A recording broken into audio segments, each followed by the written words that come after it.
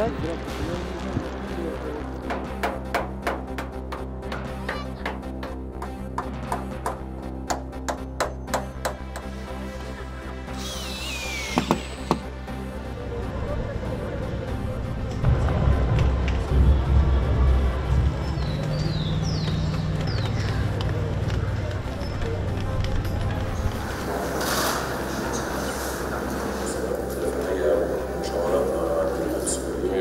we would continue our close cooperation on counterterrorism measures.